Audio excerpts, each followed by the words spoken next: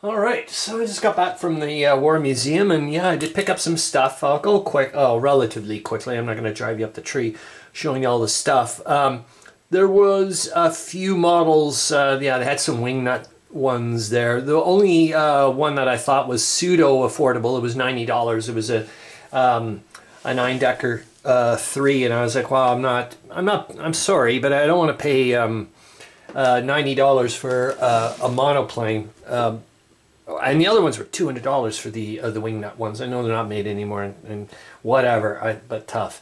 Um, and I unfortunately did not find uh, Halberstadt uh, D5. I, I, I, was, you know, you know what? I was somewhat disappointed in some ways about it. I'll go through them here. And the first guy ripped me off, the little bastard. Uh, I didn't deal with it afterwards, but it was kind of like, um, if you look at the prices, I shouldn't have been paying that. But I was like, you know what? Just leave it. I mean whatever. In the long run, it worked out, I think. So stop. Here I am already giving it more negative energy. Now this one I had not seen before. So this is an RE. Yeah, lot, most of the ones I picked up are 172s. This is the way it is. I mean, what can I do, man? Uh, so that looks an awful lot like the uh, the BE2.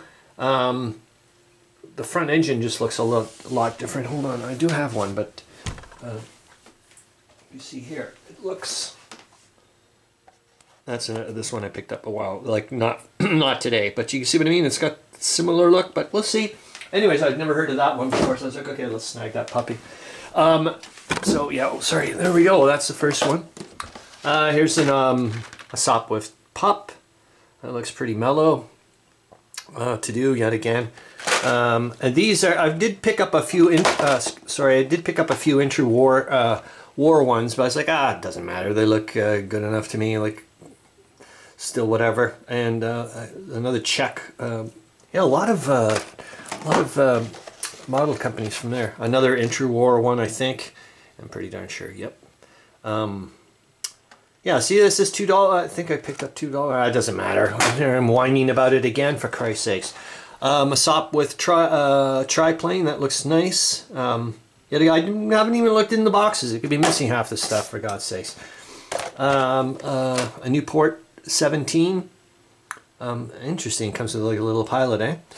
I love seeing, oh, these ones are, oh, I was, actually I was pretty damn happy to find this one, the Halberstadt uh, C1. I was really, really happy because I know, I'm pretty darn sure, I can look it up on my sheets, but I'm pretty darn sure that uh, uh, the Austro-Hungarians used one.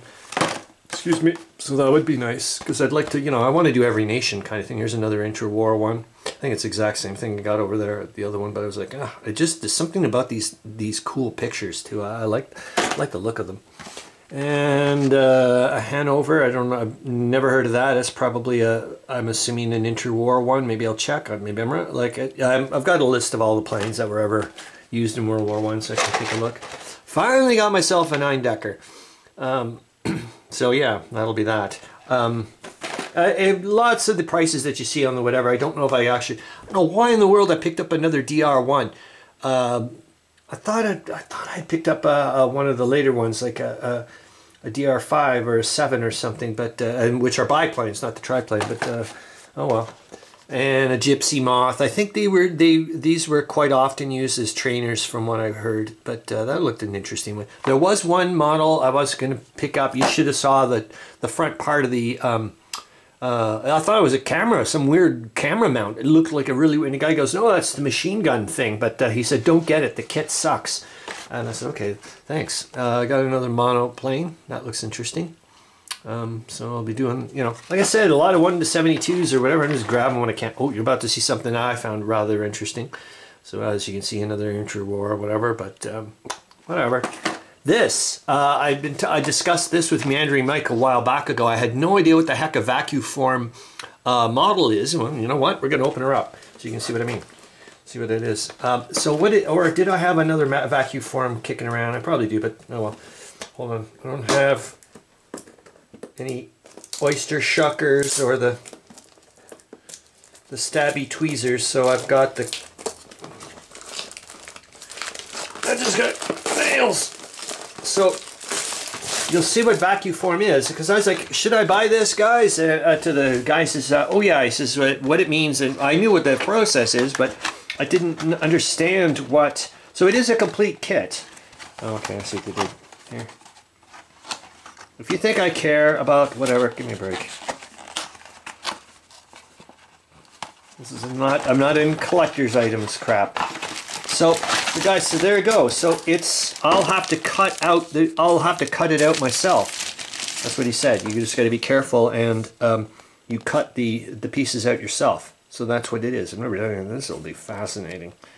So, uh, because they had a ton of these at this hobby center, the one that Rob showed me, and I was like, well, no, I don't, I'm not picking any of them up because uh, afterwards I was like, I don't know what the hell you need. Do you need the machine for it?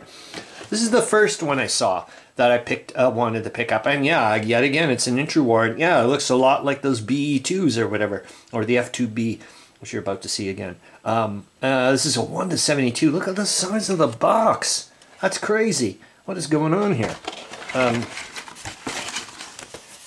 Oops. So we'll see. That can't, that's not 1 to 72. The size of that thing. There's no way that's 1 to 72 unless there's something I don't know about this plane. Yeah, I better, I better, well, look, you know what? They know more than I do, for Christ's the, the manufacturers. So this is a Roden. I've never seen a Roden 1 to 48. I obviously know they have them, but there's the, I've got this, I also have this as a 1 to 48 over, uh, I've got an Aurora version of this. Uh, but oh boy, do I ever like the box of that Aurora. So I was like, mm. and Roden's really interesting. Uh, not all of them, but I like the way they, they tell you like specific pilot and, and so on and so forth and give you like a little history. I know for the very first one they did with the Albatros D1 uh, on the 172 scales. Um, and then I also picked up this Sopwith, and that's a 1 to 48 as well. And see what I mean? Be just beautiful artwork. And it's a Sopwith. I never even heard of this one. The one and a half strutter. So, oh, please. No, it doesn't look like it. Shoot. I was kind of hoping. I do want to get one of these planes that has the wings, the uh, the top wings, uh, slightly behind. Um, I can't remember what they're called, but uh, it's uh, to you know to allow the pilot to see better. So I'd love to see. Look how far. Oh, that's crazy, eh? And this one I was kind of, I, yeah, I suspected. I suspected. Uh, I did pick it up anyways. It's a Hansa uh, Brandenburg um, W29. It's a seaplane, obviously. And uh, uh, I know the SMS Wolf had a Hansa Brandenburg uh, seaplane on it, but I was like, it's probably the, the W12, which is the biplane. And sure enough, oh my god, it's ever freaky weird. Look at the tail What the hell is going on? It looks like it's upside. That's yet again things I'll have to learn. But uh, yeah, I went and checked my book, um, which came in, and if you look, I don't know if you'll be able to see it, but right here is a plane. You know, try to, and I can barely just catch that there's our those struts or whatever between the wings. I'm like, okay, so it's not that one. I was getting excited. I was like, oh my gosh, I got I excuse me, I could maybe um, I could do the uh, the seaplane from the uh, uh the SMS Wolf, which would have been great. Uh, what else did I pick up? I picked up some decals here. Just a smattering. They didn't have a ton. I was really surprised. And I will show you this on a side note of what happens when you leave a piece of paper uh, in at least, at least I left a piece of paper in my backpack. So this used to be a picture of a Halberstadt D5, an Ottoman uh, with Ottoman um, uh, uh, markings and uh, uh, um, I think a SPAD. Uh, excuse me, I think that's what Harold Bosman thought it was. But look what's happened to it after it got in the rain and um, in my backpack for several times. Impressive, but I'm keeping. Look at this. Well, you can see there. There's the the, the Ottoman bits there. If you, you can see. Anyways, I'm like I'm keeping that. I'm going to put that up somewhere. They also had some books. Uh, and uh, they also had the used bookstore as well. So I went to both. Um, the uh, used bookstore was not too bad. Uh, I didn't have a ton of stuff, but I did get a few things. And uh, the other place is a dollar each. Uh, I can't remember if I got. Uh, so I got this one. This is quite nice.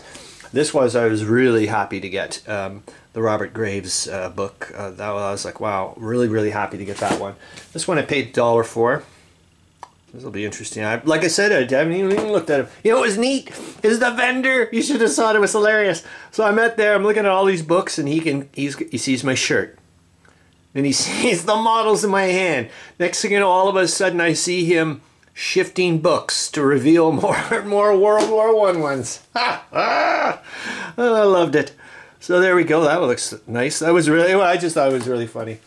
And then uh, Pil. Oh, I was just like, I really want to. Uh, this this I picked up at the uh, used bookstore, but uh, pilgrimage. That's something I would like to do someday for sure. Uh, Great Battle series. This was Jesus. Sorry. This is about. Um, uh, when I took a look at it quickly from the used bookstore, it's got a lot to do with the. Um, it seems uh, strategy and tactics and whatnot, and a lot of the thinking going into going into 1918. I went, okay, nice. This one I thought was interesting because it was called The Warlords, and we just saw that uh, a little while ago from what I picked up. But this is not, uh, it's got everyone in here. Holy Moses. I went, okay. Ludendorff, Petain, Hindenburg, Haig, Hamilton, Kemal, uh, Falkenhayn, Foch, everyone is in here. Man, I was like, okay, look at this. It's just nuts. One after the flip another. And I guess it goes later on. Yeah, Eisenhower. So I guess it goes off into World War II land. Oh, I'll just, I'll stick to whatever. Of course, I still need to learn from other people. Stop thinking that, uh, well, you know, it's whatever. This one, yeah, I picked up uh, Great War at Sea, um, yet again at the used bookstore. Uh, 19, this looks really darn good too. Tactics, training, and technology. I took a very super quickie look and I was like, yep, you're, you're going to come on home. And this one I picked up, it's a, well, I picked this up for a dollar. It's, um, you know, every freaking, I guess, uh, Karpeka, Russia, pioneer constructor pilot built Voisin look-alike in 1910. Cool! Done! There we go. Uh, yep, that's it for me, I think. And hope you're having a great old time. And I'll, oh, that's it. See ya.